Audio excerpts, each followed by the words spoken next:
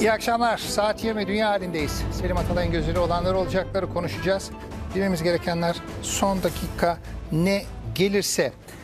Ee, akıştan önce bir e, yeni haber var. Ee, Türkiye IMF çok spekülasyonu yapılıyor. Onu aktaralım.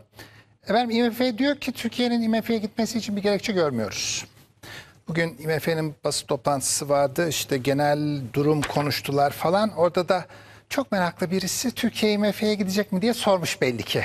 Çok istiyorlar ya Türkiye'nin IMF'ye gitmesini, Türkiye IMF ilişkilerinin daha da gelişmesini. Ve de muhatabı da IMF'nin baş ekonomisti Gita Gopinath. Gopinath'a sormuşlar. O da diyor ki Türkiye ekonomisi işte parasal sıkılaştırma sonucu gerilim altında, stres altında ancak Türkiye'nin IMF'den destek istemesini gerektiren bir durum olmadığını düşünüyoruz. Tam söylediği Türkiye'nin IMF'ye gelme niyeti taşıdığını düşünmemiz için bir neden yok. Evet e, stres altında olabilir ama mesela ekonominin 2020'de büyümeye geçeceğini söylemiş. Aynı zamanda baş ekonomist mevcut durumun ötesinde 2020'de büyüme var diyor ve de IMF meraklarına buradan duyurabiliriz. Bu arada e, FETÖ kaçağı Akın İpek'in Londra'dan iadesi için bir girişim daha yapılmıştı. Mahkeme yine reddetti o girişimi ama tabii ki takip sürüyor.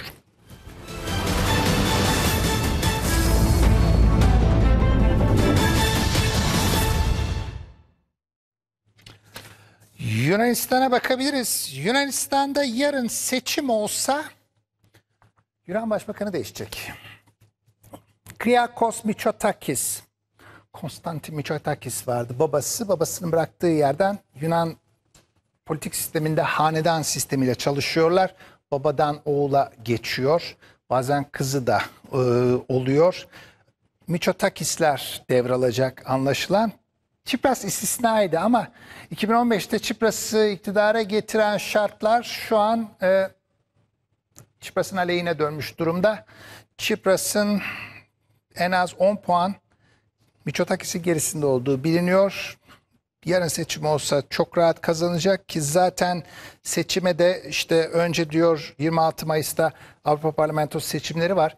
Bu Avrupa Parlamentosu seçimleri ülkelerin kendi siyasi partileri ve de hükümetlerin performans konusunda da bir fikir verecek. Bir o var. Sonra da işte en geç yaz sonu ya da bu sonbaharda Yunan genel seçimi olacak. Orada da Mitsotakis başbakan olacak gibi duruyor bir değişik olmazsa. Şimdi yabancı medyada Mitsotakis'e başbakan olduğunuzda ne yapacaksınız diye sormuşlar. Hemen şöyle baktık Türkiye falan yok hiç girmemiş. Sorulmadığı için girmemiş olabilir.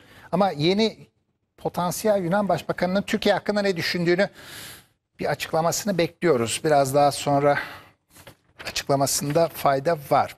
Şimdi tabii ki oyları kaybetmemek için malum havalardan gidecektir. O da ayrı konu.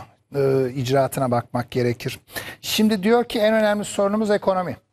Yunanistan'ın son 10 yıldır en büyük sorunu ekonomi. Çipras 2015'te iş başına gelmişti. 2019 işte yeni seçim dönemi. İşte e, ekonomiye ağırlık vereceğim. Yabancı sermayenin gelmesi için yeni reformlar yapacağım. İşte özelleştirmeleri Çipras durdurmuştu. Ben devam ettireceğim. Yunanistan'da özelleştirme falan olmuyor. Yunanistan ekonomisini kimsenin canlandıramayacağı konusunda hayli karamsar yorumlar var ama Mitsotakis e, daha iyimser, eh, iyimser olmak zorunda. İşte iyiye gidiyoruz, e, kurtarma planı işe yarıyor falan. Belli konular. İyiye gidiyoruz ne? Yine borç milli gelirin kat be kat üstünde. O yüzden işte genel bir doğruları söylüyor ya da dışarının duymak istediği şeyleri söylüyor. Sonra ikinci en büyük siyasi konu Yunanistan'da bir numara şeyse ekonomi ise iki numara Makedonya konusu. Çipras o kadar uğraştı işte Üsküp Makedonya ile orası Kuzey Makedonya olsun biz de Güney Makedonya olalım falan diye bir anlaşma yaptı. Fakat Mitsotakis diyor ki yok bu anlaşma yanlış. E, ne yapacağız? Ee, diyor ki öyle anlaşmaya belki uyarız yani onu da geri çevirmeyiz, anlaşmayı yırtmayız ama öyle otomatik olarak NATO'ya Avrupa Birliği'ne de girmeyi beklemesin Kuzey Makedonya. Kuzey Makedonya, Üsküp bütün bu iniş çıkışlara ve zorlamalara sırf NATO'ya sonra da belki işte olur da diye Avrupa Birliği'ne girmek için katlanıyordu. Şimdi bütün bu zahmetlerin boşa gideceğini söylüyor Yunan'ın Yunan Başbakanı ya da yeni Yunan Başbakanı adayı. Şimdi e, başka işte yatırım çekeceğim falan hikayesi tekrar Makedonya'ya yüklenmiş. Uluslararası kod olarak bulabildikleri bu olmuş ama tekrar Türkiye. Türkiye konusunda ne yapacaksınız Miçotakis Bey? Onu ne söylese boş. Şayet seçilirse seçildikten sonra icraatla görmesi görmek gerekiyor. Yunanistan'da durum bu.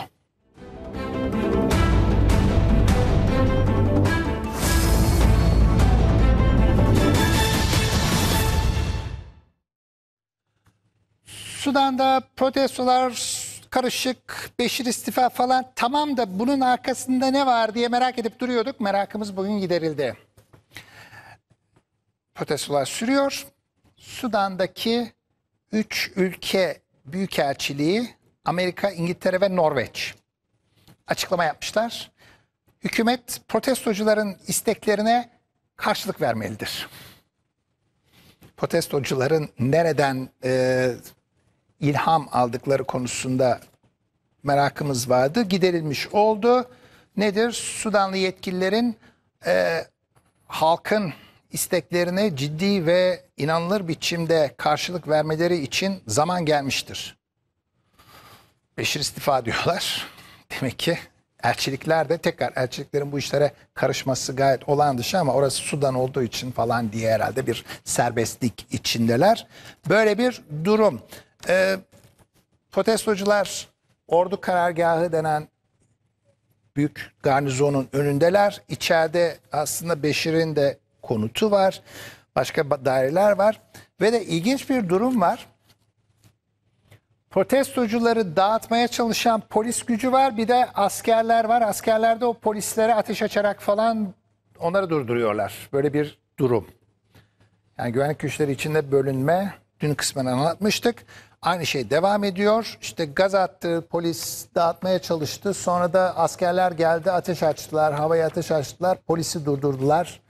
Ve protestocular da işte orada garnizonun çevresini kuşatmayı sürdürüyor diye bilgi. Net bilgi akışı da aslında az. Ee, ama e, elçilik açıklamaları olayın ne yönde seyredeceğini göstermekte. İşte e, istifa istifa diyorlar. Dün anlatmıştık Savunma Bakanı General ordunun ülkenin kaosa gitmesine izin vermeyeceğini söylemişti. Bu da kod ifadelerden, parolalı ifadelerden bir tanesidir. Sonra ordunun genelkurmay başkanı da varmış. Genelkurmay başkanı da e, işte vatandaşları korumaya çalışıyoruz demiş. Şimdi Vatandaşları kim koruyor? O Genelkurmay Başkanı'nın askerleri mi, Savunma Bakanı'nın askerleri mi? Böyle bir bölünme ve dağınıklık da var ama Sudan daha henüz yeni başladı diyebiliriz. Devamı gelecektir.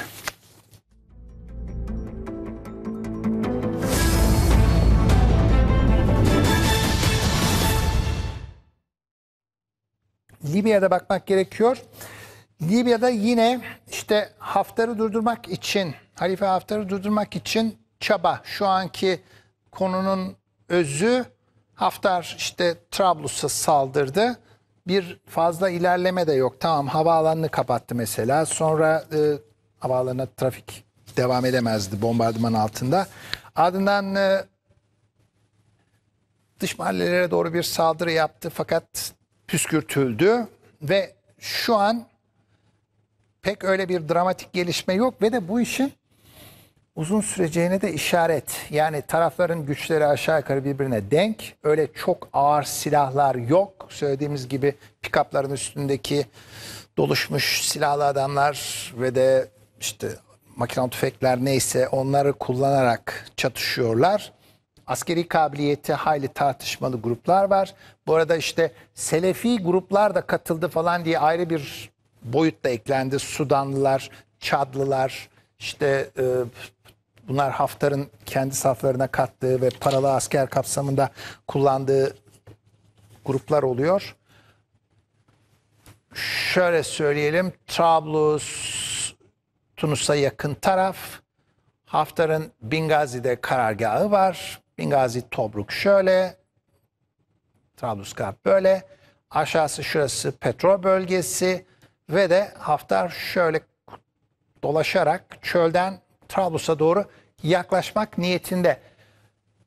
Bu arada kimden cesaret arıyor sorumuz hala geçerli. Kimden cesaret alarak bu işi yaptığı konusu hala açık. Çünkü bir başka bilgi Amerikan tarafı diyor ki biz Hafter'in saldırmamasını söyledik. Bize rağmen saldırdı.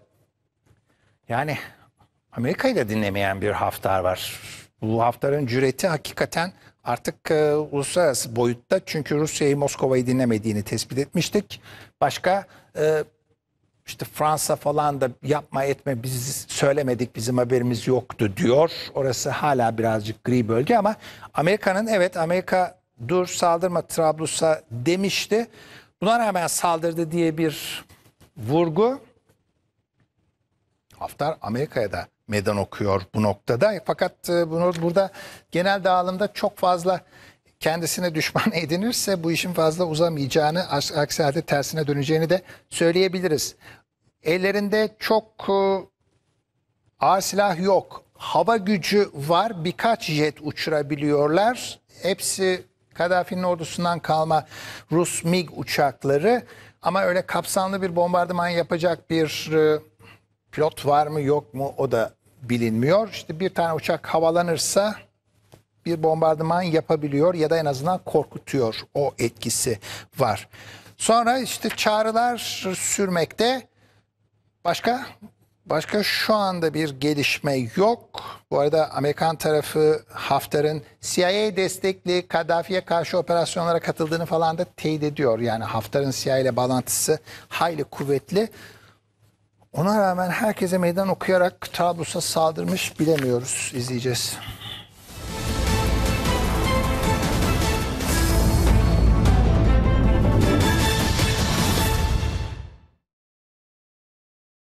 Şu duvardaki Afrika haritasına aynı zamanda Orta Doğu da var. Ona tekrar geri dönelim. Yani anlattığımız coğrafyalar ve ülkelere bakın. Sudan yeni bir kargaşanın ortasında. Libya anlattık çatışma doğusu ve batısı arasında bölünmüş durumda. Cezayir millet sokakta. Yani coğrafyada şöyle sükun, huzurun olduğu herhangi bir yer yok. Yemen burası malum, öbür taraf Suudi Arabistan, İsrail, Gazze malum. Mısır ayrı bir konu. Ve gündemimiz yani bu aralar Sudan, Libya, Cezayir hayli üzücü. Yani Orta Doğu yine İslam coğrafyasında sürekli sorun, kargaşa ve bir yerde de kan dökülüyor. O. Neyse ki Cezayir'de durum şimdilik sakin. Sakin ama nasıl sakin? Siyasi anlamda kimse silaha sarılmadığı zaman sakin sayılıyor. Yoksa sokaklardalar. Cezayirliler sokaklarda. Yeni bir şey oldu. Ne oldu? İşte Senato'nun başkanı Bin Saleh, Abdülkadir Bin Saleh. Senato'nun başkanı oylamayla, meclis oylamasıyla geçici başkan olarak seçildi. 77 yaşında 1990'lardan beri Senato'nun başkanı ve iktidar partisine gayet yakın bir şahsiyet. Niye öyle oldu? İşte bu tefrika istifa etmişti. Anayasanın maddesi var. Sağlık nedeniyle başkan ayrılırsa yerine senato başkanı geçer ve 90 gün içinde seçim yapılır diye. Şimdi 90 günde seçim sürecinin başlaması gerekiyor, bekleniyor fakat sokak hala kızgın. Sokak diyoruz ama tek ifade yolu sokak oldu. Çünkü meclisi e, Bin Salih'in 77 yaş kuşağı ya da üstündeki kuşak doldurmuş durumda. Onlardan bir e, netice alınamayacağını biliyor sokak. O yüzden Bin Salih'e de karşılar ve yeni gün yeni yüzler, genç yüzler görmek istiyoruz diye bugün protestoların boyu daha da arttı. Hatta kaç haftalardır sürüyor bu en az 7 haftadır gösteriler sürüyor. İlk kez polis müdahale etti, gaz attı, işte su sıktı falan diye tekrar tırmanma işareti olan gelişme yaşanmış. Çünkü diyorlar ki Bin Salih ile falan bu iş olmaz. Şimdi aslında evet olmaz belki ama anayasa gereği bir şey yapılıyor ve anayasanın da işte söylediği, tarif ettiği şahıs bu.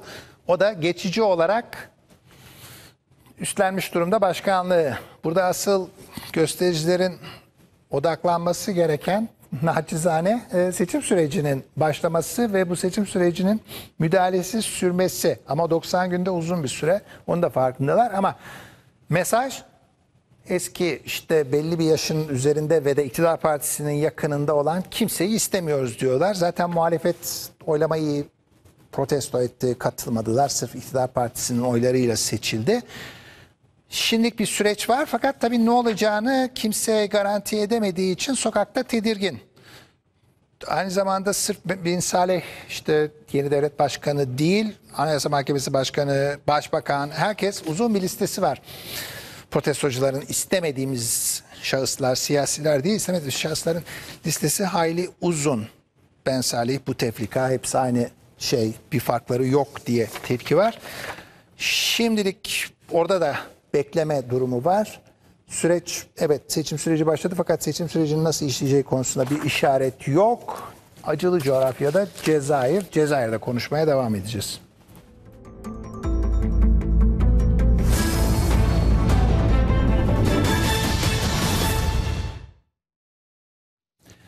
Japonya işte radardan kayboldu, kaybettik falan diyor ama galiba Japonya bir F-35 uçağını kaybetti, düştü o uçak.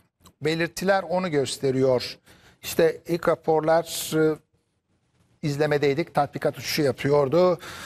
Pasifik Okyanusu'nda ana karadan 80 mil açıkta kaç 120 kilometre 130 kilometre falan orada e, irtibat kayboldu. Galiba düştü.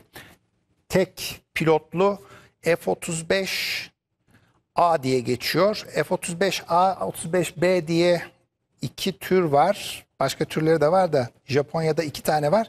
Ve bu olay şayet düştüğü de kanıtlanırsa veya teyit edilirse o zaman Japonya'nın ikinci F-35 kazası oluyor.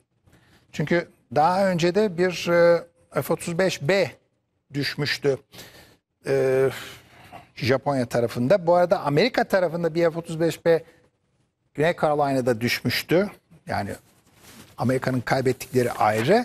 Fakat bu Japonya'nın kaybettiği uçak oluyor. Peki ne olacak?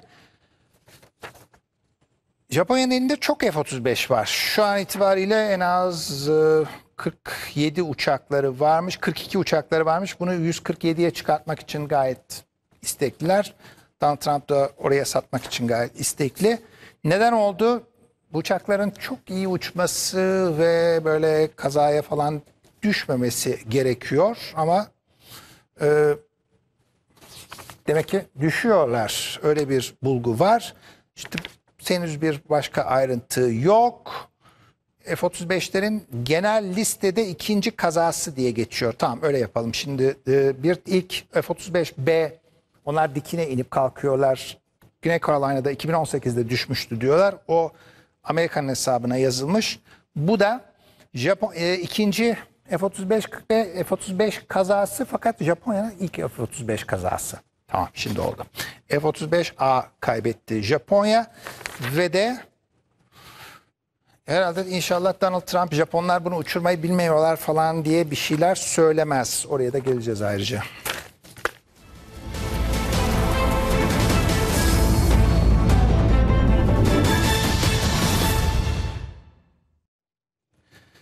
İsrail seçimi evet işte Netanyahu kazanacak mı kazanmayacak mı muhatabı Gantz'a kimse hiç itibar etmedi.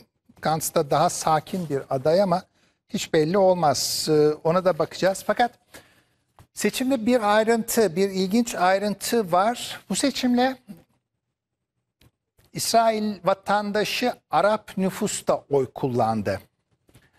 Arap nüfusun oy kullanması aslında ilginç. Filistinlilere vatandaşlık vermiyor İsrail. Fakat bir dönem Filistinliler vatandaş oluyordu ve vatandaşlık sahibi Araplar var. Onlara e, tabii ki ikinci sınıf muamele yapılıyor ama İsrail vatandaşı Araplar. Şimdi bu seçimde ilginç bir durum. Arapların oy kullandığı sandıklara Netanyahu'nun partisi vücudunda işte kamera taşıyan gözlemciler göndermiş. Arap seçmen de bunu e, fark etmiş. Diyor ki ne yapıyorlar? Bizi neden görüntülüyorlar? Netanyahu ne yapmak istiyor? Bu üstü kapalı bir tehdit gibi algılandı. Çünkü Netanyahu Araplar oluk oluk gelip oy verecekler. Siz niye oy vermeyeceksiniz? Evde oturmayın falan diye kendi taraftarlarını gaza getirmeye çalışıyordu. Ve aynı zamanda Arapların yoğun biçimde İsrail seçiminde oy kullanması istenmiyor. Hatta demografik olarak Arap nüfusun, Batı Şeria'daki Arap nüfusun aslında İsrail'i geçtiğini de daha bir zaman önce anlatmıştık. Resmi sayım, resmi rakam kesinlikle açıklanmıyor ama İsrail ve işgali altındaki bölgede Arap ve Yahudi nüfus olarak bakıldığı zaman Arap nüfus daha fazla. Ve İsrail bu yüzden bu, bu Arap nüfusa vatandaş ya da insan muamelesi yapmak istemiyor. Çünkü vatandaşlık hakları olsa oy verecekler. Oy verdikleri zaman Netanyahu falan seçilemez. Yahudi seçmenden daha fazla sayıda e, Arap seçmen olacak. Böyle bir konu. Onun için işte muhtelif caydırma ve korkutma, korkmazlar gerçi ama işte caydırma ve yıldırma çabasıyla kameralarla işte kim oy verdi falan diye dışarıdan çekmeye çalışmışlar. Arap nüfusun oyu önemli. O da var. Hatta şimdi daha da önem taşıyacak gibi. Sonuçlar henüz belli değil. Bakacağız.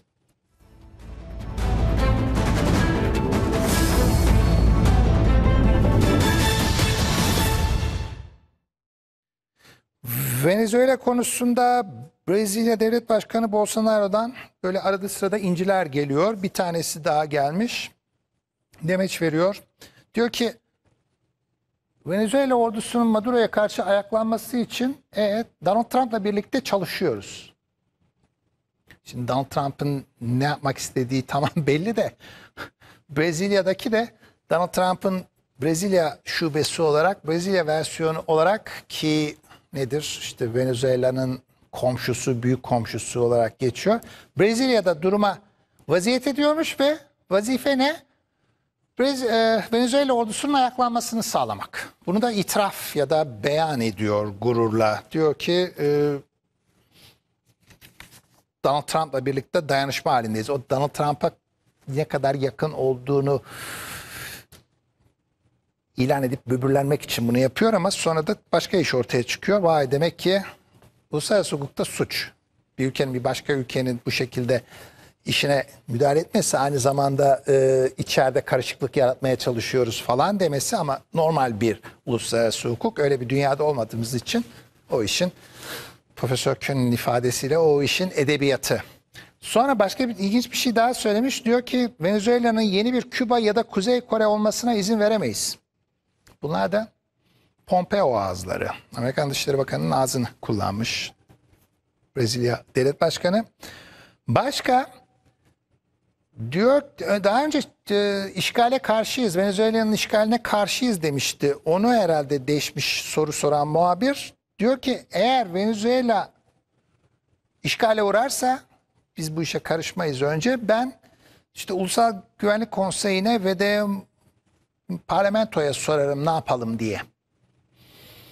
Yani Amerika gelip birkaç başka ülkeyle Kolombiya mesela çok meraklıdır o işe. Kolombiya ile birlikte Venezuela'yı işgal ederse Bolsonaro hemen yürüyün demeyecekmiş de işte danışacakmış falan. Dünden razı müdahale eder. Biz ona bahis oynarız eğer bahis varsa orada. Sonra başka bir şey daha söylüyor. Eğer diyor askeri müdahale, askeri işgal Maduro'yu devirirse o zaman da diyor Venezuela'da iç savaş çıkar. Bakın bu tespit doğru. Çünkü Maduro'nun taraftarları silah sarılırlar ve kim iktidara geçerse ki işgal sonucu iktidara geçmiş olacak. Daha da işin boyutu. Maduro taraftarları ateş silahı sarılır ve iç savaş başlar diyor. Bolsonaro en azından onu herhalde görmüş. O kadar şeyi var. E, sağduyusu var. Bu arada Abdülfettah Sisi Donald Trump'la görüşmek için Beyaz Saray'a gitmeye hazırlanıyor. Onu da bilgi olarak aktaralım. Sisi Washington'da.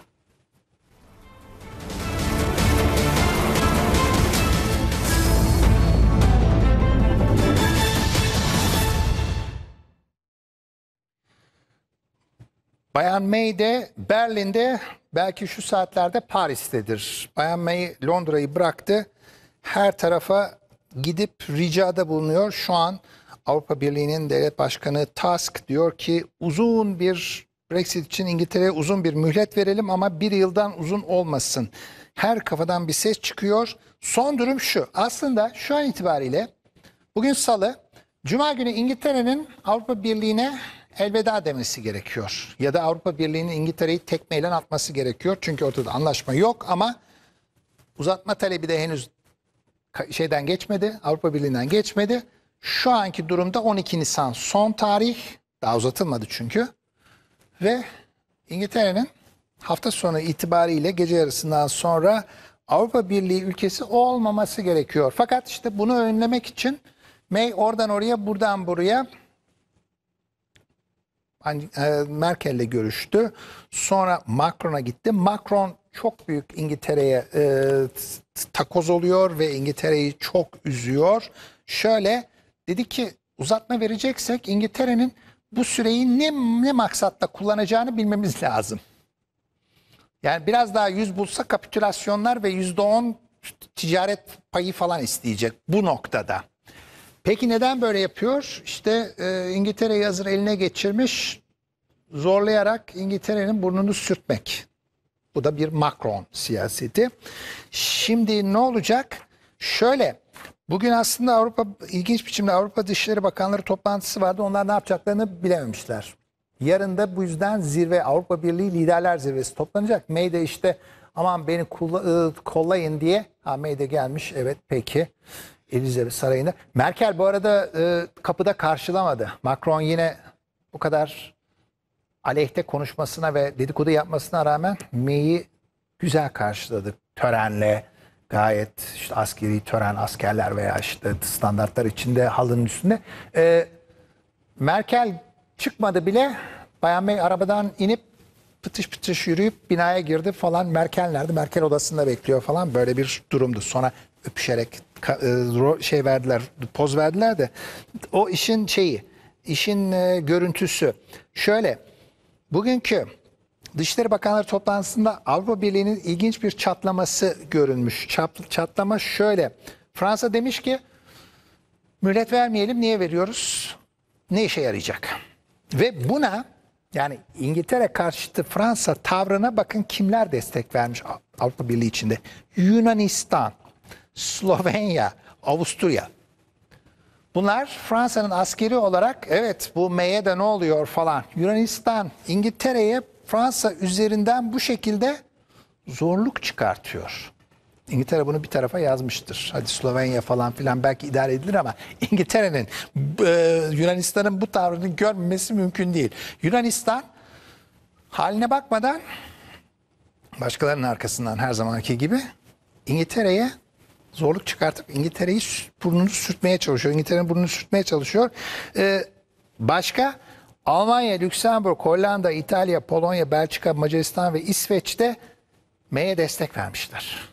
Yani iyi, iyi gene e, sayı olarak Almanya, Lüksemburg, Hollanda onlar Almanya etkisinde. İtalya ilginç. İtalya May'le e, İtalya e, Merkel'le kavga eder ama dinlemişler bu kez. May'e iyi davranıyorlar. Polonya, Belçika, Macaristan, İsveç yani bunlar da Almanya'nın askerleri. Öbürleri Fransa'nın askerleriydi Yunanistan dahil. Bunlar Almanya'nın askerleri. Fakat bu bölünme karşısında bir şey yapamamışlar. İşte yarın Macron içeride şimdi Bayan May'e çok daha ağır bir şey söyleyecek. İşte e, yüzü tutsa kapitülasyon isteyecekti diyoruz ama hayır öyle değil. Şöyle diyecek ki uzatma veririz. Belki bir yıllık uzatma çıkabilir. Uzatma veririz fakat siz gerçek üye olmayacaksınız bu süreçte geçici üye olacaksınız. Yani ne demek? Avrupa Birliği'nin liderleri ya da işte bakanları böyle önemli ve sır niteliği toplayan, kapsayan konuları görüşecekleri zaman İngiltere'yi dışarı çıkartacaklar. İngiltere o oturuma alınmayacak. Bundan daha büyük bir aşağılanma herhalde düşünülemez. Yani sen bizdesin ama sen zaten çıkıyorsun. Onun için hadi bakayım sen bir çık dışarıda bir hava al. Biz büyükler olarak ayrıca kendi aramızda görüşeceğiz. Bu muameleye İngiltere nasıl dayanır, nasıl katlanır? Henüz İngiliz kamuoyunda bunu bilmiyor bu arada. Daha yeni duymaya başladılar. İlginç bir durum. İngiltere sen çık bakalım biz özel bir şey konuşacağız.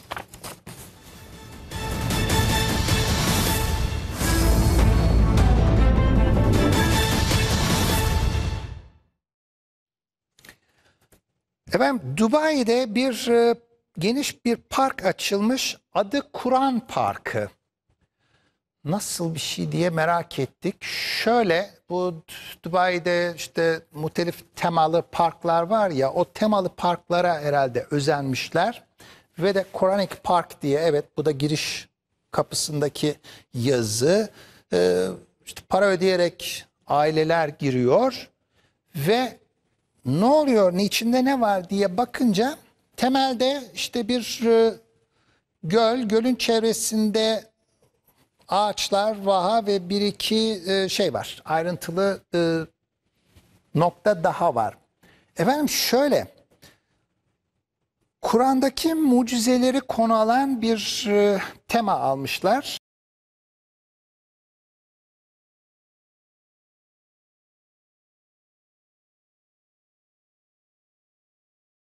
Şekilde canlandırmışlar. Mesela ne? Mesela e, İbrahim peygamberin bir e, kuşu canlandırma konusu vardır. Kur'an'da geçer. Onu anlatıp kısmen işte e, tasvir ediyorlarmış. Sonra Musa peygamberin işte denizi yararak yürümesi arkamızdaki fotoğraflardan bir tanesi. Sonra bu ağaçlar Kur'an'da geçen ve bilinebilen ağaçları orada toplu halde dikmişler. Bunlar Kur'an-ı Kerim'deki ağaçların kendileri ya da benzerleri diye bir vurgu var. Tekrar bu mağaradaki mucizeler konusu mesela İsa peygamberin e, çamurdan bir kuş yapıp onu canlandırması bir mucize olarak. Onu da tasvir edip anlatıyorlarmış. Böyle bir durum yeni açılmış. Yaklaşık bir haftadır. 12 değişik bahçe. Burası da şu an yürünen yolda iki tarafı su malum. Musa'nın Kızıldeniz'i geçmesinin tasviriymiş. Burada ziyaretçiler o iki su arasında yürüyerek Musa peygamberin yolunu izliyorlar. Bu işte mucize mağara, mağarası olarak geçiyor. Mağarada ziyaretçiler Kur'an'daki mucizeleri dinlemekteylermiş. Tasvir var mı onu göremedik açıkçası. Çok fazla görüntü yok. Evet var bu şekilde ses ve ışık olarak anlatmışlar. Arka ses var mı?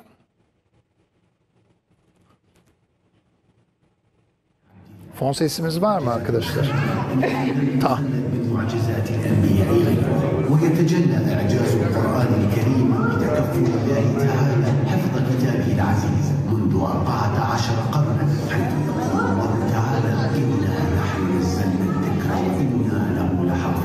ve, ve Park'ın amacı İslam'ı, İslam tarihini Müslümanlara ve de gayrimüslimlere anlatmak diye tanımlanıyor. Tekrar Dubai'nin işte resmi yönetiminden izinle açılmış ve şu an ziyaretçilerin para gerek e, para vererek girdiği 100 bin kişi ilk hafta ziyaret etmiş bir tema parkı.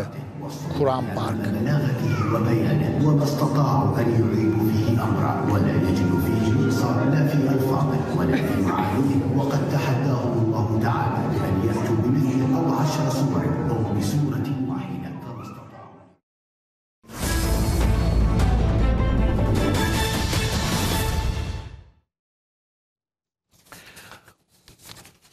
St. Petersburg, Rusya'da bir konferans vardı bugün. Vladimir Putin de katıldı ve konferans adeta Kuzey Kutbu'nun paylaşım konferansı gibi geldi. Şimdi Kuzey Kutbu, şuradan başlayalım coğrafya olarak. Kuzey Kutbu bu dünyanın çok ilginç bir e, küre haritası. Tepeden tam Kuzey Kutbu'ndan dünyaya bakıyor. Kuzey Kutbu'ndan mesela Türkiye'ye mesafeyi şöyle görebiliyoruz.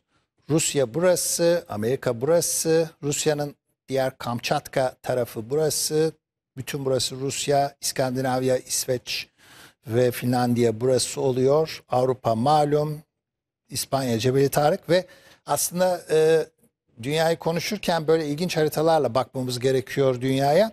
Şimdi Kuzey Kutbu Konferansı ne? Kuzey Kutbu Konferansı küresel ısınmanın bir sonucu. Küresel ısınma sonucu Kuzey Kutbu'nun buzları eriyor ve geçilmez, aşılmaz olan bu kutup dairesi şimdi su yollarıyla bir uçtan bir uca geçilebilecek durumda. Bu ne demek? Bu gemi trafiğinin Rusya'nın kuzeyinden kutuplar üzerinden Pasifik'e gidebilmesi. Burası da Alaska, burası Rusya. Bering Boğazı'nı geçerek Pasifik'e ulaşabilmesi. Yani ne demek? Cebel Tarık'ı unutun. Abdülfettah Sisi de Süveyş kanalını unutsun. Çünkü bütün bu trafik Cebel Tarık, Süveyş falan dolaşıyordu. Yani dünya stratejisini toptan değiştiren bir durum. Buzlar eridi, yol açıldı. E biz de bu yolu kullanıyoruz. Siz kim? Ha işte soru bu. Rusya. Rusya bu işin öncülüğünü yapıyor ve Rusya sırf ticari olarak değil askeri olarak da buralarda hayli teşkilatlanıyor. Amerika'da bu işin farkında. Amerika'da kendi tarafından Kanada üzerinden buraları Alaska üzerinden kontrol çabasında ve de St. Petersburg'da şuralardır St. Petersburg konferans toplandı. Konferans diyor ki ve daha doğrusu Vladimir Putin diyor ki Kuzey Kutbu'nu bir su yolu olarak ve işte genel Rusya'nın parçası olarak faaliyete geçirmeye hazırız. Bu yolda yeni limanlar yapacağız ve de buz kıran gemilerimiz 24 yani ve 24 saat ya da 12 ay bu bölgede trafiği açık tutacak. Evet bu, bu bölgede ısınmayla su yolu açılıyor ama zaman zaman da donma var tabii ki. Onu da önlemek için Rusya'nın çaresi buz kıran gemiler fakat normal buz kıran gemiler değil nükleer enerjiyle nükleer yakıtla çalışan buz kıran gemiler. Rusya diyor ki dört tane bu yolda gemim var. Bu dört gemiyle ben bu kutup bölgesini trafiğe açık tutarım. Ama zaten ihtiyaç üzerine yeni gemiler de yapacağım. Vladimir Putin açıkladığı 13 tane 13 tane buz kıran gemiye ulaşacak. Rus filosu 4 nükleer halen 4 nükleer gemi var. 4 nükleer buz kıran gemi var. 9 9'u nükleer, 4'ü diğer e, dizel veya işte e, yakıtla çalışan 13 tane daha eklenecek ve böylece 9 13 tane buz kıran nükleer buz kıran gemi ve diğer buz kıran gemilerle birlikte orayı açık tutacağım diyor. Orayı açık tutacak da ne yapacak? Orayı açık tutarak orayı uluslararası ama aynı zamanda Rusya'nın kontrolünde bir su yolu yapıyor. Ki sırf su yolu olarak değil orada askeri üsleri var. Ayrıca henüz daha tam toprağın altında toprak, buzun altında derinliklerde daha nasıl petrol, gaz var ona henüz onlar biliyorlar ama daha pek açıklamadılar. Yeni çatışma ortamı kutuplara kayıyor. Burada Finlandiya, İsveç, İzlanda liderleri de vardı. Finlandiya'nın devlet başkanı vardı mesela. Orada da Norveç e, Norveç Başbakanı vardı. Norveç Başbakanı diyor ki e, Kuzey Kutup Dairesi'ni çatışma alanı olarak görmeye meraklı analistler var. Meraklı falan değil. Gidişat oraya görmek mümkün. Ama biz burayı bir barış denizi olarak e, görüyoruz. Başarılar o Norveç'in klasik romantizmi. Vladimir Putin'in ve Pentagon'un e, Kuzey Kutup planları orada çatışmaya falan hazırlanıyorlar o açıda. O kadar iş uzamış durumda. Norveç tabii ki başka hikayeler anlayıp anlatabilir. Mesele şu. Şimdi ülkeleri saydık. Norveç, İsveç, Finlandiya, İzlanda, başka Rusya, e Bu ülkeler bu 4-5 ülke Rusya dahil 4-5 ülke Kuzey Kutbu'nu parsellemiş durumdalar. İşin arkasında başka Amerika var. Amerika daha katılmamış bu konferansa. Amerika'nın dışında kimler var? Bu bölgede etkinlik sahibi olmaya çalışan Kanada doğallıkla Danimarka ve Norveç. Buranın giderek kal- kalabalıklaşacağını söyleyebiliriz. Fakat Vladimir Putin'in söylediği bir ilginç şey daha var. Diyor ki buralara yeni büyük limanlar kuracağız. Bunlardan bir tanesi Murmansk'ta olacak. Murmansk ilginç bir yerdir. Şuralar Kola Yarımadası'nın tam e, İskandinav noktasının şuradadır. Murmansk. Orada Rus Kuzey e, filosu faaliyet gösterir. Orası hayli faaldir. Orada bir tane Kola Yarımadası liman kuracağız diyor. Bir de öbür uçta Kamçatka'da Kam- Kamçatka Yarımadası'nın ucunda bir liman kuracağız diyor ve bu iki liman arası tümüyle Rusya tahakkümü ve Rusya'nın geliş gidiş yolu olarak düşünecek. Başka yerlerde de limanlar ve işte tesisler kurarak ticareti açık tutacağız diyor. Çin bu işle son derece ilgili. Çünkü bakın bu yol Çin'e hemen şöyle çok yakın. Japonya Çin'e çok yakın ulaşıyor. Çin de çok meraklı Kuzey Kutbu'nu kullanmaya. Yani e, evet Norveç Başbakanı'nın romantik düşünceleri tamam ama orada kavga çıkacak.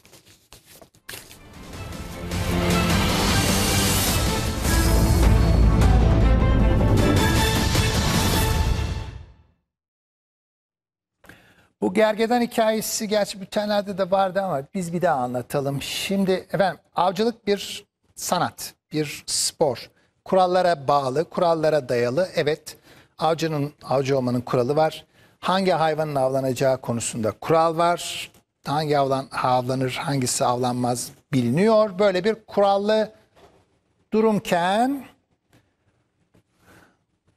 gergedanlar Gergedanların boynuzları için öldürüldüğünü biliyoruz. Kaçak avcılar var.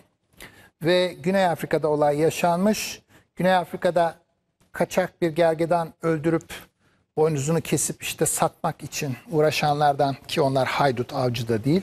O haydutlardan bir tanesi nasıl olduysa bir filin altında kalmış. Fil tarafından ezilmiş. Yaralanmış ve de yaralı haydutu avcı diyorlar ama haydutu yaralı haydutu da aslanlar yemiş. Neredeyse ilahi adalet yani haydut avlanması yasak olan gergedanı al, alamaya çalışıyor. Belki de vurdu onu bilemedik. Bu, o arada bunun nereden biliyoruz? Yanındakiler var. Yanındakiler kaçmış. Bu kaçamamış. Onun için onlar görgü tanığı olarak anlatıyorlar. Hayvanlarla kargaşa sırasında bir fil tarafından tepeleniyor ve fil, filin ağırlığı altında ezilip yaralanıyor ve de kalanı da aslanlar yiyor. Ee, sadece bir kafatası ve pantolonu bulunmuş. Hayli ibret verici bir durum. Ee, işte aramalar sırasında sonra bulduk diyorlar. Tekrar nedir? Gergedanların boynuzları için avlandığı, gergedanların boynuzundan işte ilaç yapılıyor falan diye hurafeler var. Onlar için avlayıp gergedanların da soyunu tüketme yolundalar. Onun için bunlara avcı değil haydut diyoruz ama hepsi maalesef bu idare, ilahi adalete uğramıyor.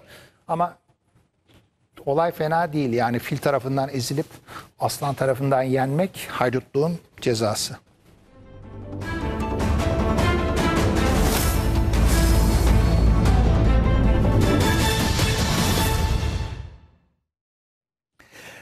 ...2019 Leonardo da Vinci'nin 500.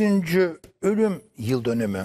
Onun için Leonardo çok konuşuluyor. Başka herhangi bir komplo boyutu yok. Neden Leonardo? Adamın 500. yıl dönümü de onun için.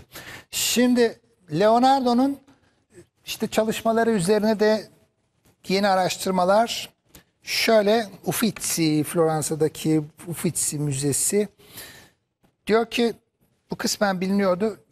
Leonardo çok yetenekliydi. Evet o kadar yetenekliydi ki işte sağ elini çok iyi kullandığını biliyoruz. Evet sol elini de aynı başarıyla kullanabiliyordu. Yani bu insanlarda ender bir yetenek. işte sol elini kullananlar var, sağ elini kullananlar var. Fakat ikisini birden aynı maharette ve aynı güçte kullanmak bir ayrı yetenek meselesi ve bu Leonardo'nun en büyük yeteneklerinden bir tanesi buymuş. Onu tekrar teyit ettiler. İşte Leonardo'nun çalışmaları konusunda başka bulgular, e, ilk ilk bilinen çizimini de bu vesileyle tekrar hatırladılar. 21 yaşında iken Leonardo'nun 1473'te yaptığı bir çizimi ortaya çıkartmış Uffizi. Arno Nehri'ni gösteren ve Floransa'nın dışından bir manzara resmi. İşte şöyle mahirdi. Evet, bu da o ilk resim. Evet. Ve şu an işte Leonardo muhte- muhtelif eserleriyle hatırlanıyor, ince, iz- inceleniyor. Başka infrared kızıl, kızıl ötesi ışınlarla bunu çözebildik diyor bu arada. Arkasında başka e, şeyler vardı, başka bilgiler vardı ve işte hangi ne tür kalem kullandı, ne tür kömür kullandı, kağıt nasıldı, şuydu. Bütün ayrıntılarıyla bunları meraklara anlatmışlar. Sonuç Leonardo çok yetenekliydi.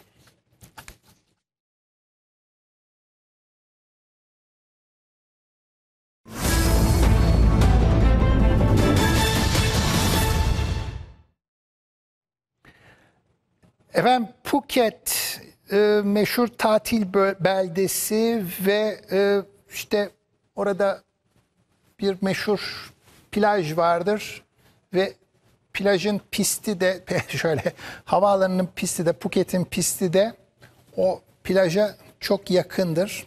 Yaklaşan veya da havalanan uçaklarla selfie çektirme konusunda turistler birbiriyle yarışır.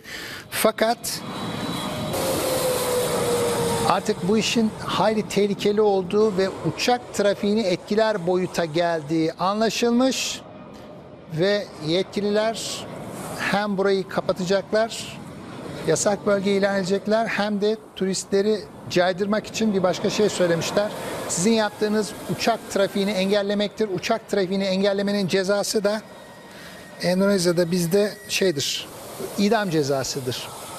Yani selfie çektirmenin cezası idam falan gibi yorumlar oldu. Tamam öyle değil belki ama şu yapılan işin pilotların dikkatini dağıtıcı ve trafiği, sivil trafiği engelleyici olduğu düşünülmüş. Ve de bu işe artık son verecekler bu işe. O bölgede plajın turistlerde turistlere kapatılması ve güvenlik bölgesi ilan edilmesi söz konusu. Ha fotoğraflar iyi çıkıyor mu? İyi çıkıyor tabii ki o ayrı.